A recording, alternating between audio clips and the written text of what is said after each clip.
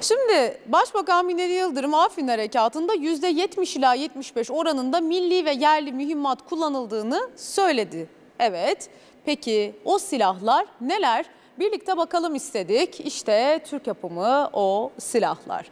Nüfuz edici bomba. Şimdi bu bomba beton delici özelliğiyle sığınaklar ve mağaralar için e, kullanılıyor. Hassas güdüm kiti var. Bu da önemli çünkü bu akıllı bir bomba. Menzili 25 kilometre. Uçakların tehlikeli bölgeye yaklaşmadan hedeflerini vurmasını sağlıyor hassas güdüm kiti. ÇNRA bu nedir? Çok namlulu roket atar.